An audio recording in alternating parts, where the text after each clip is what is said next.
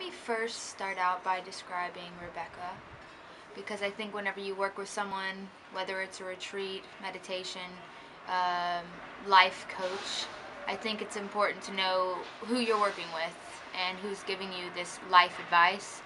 Um, and yeah, Rebeca is just an amazing person. She's someone that you can always feel comfortable around and never judged and she's just a very easy person to be around.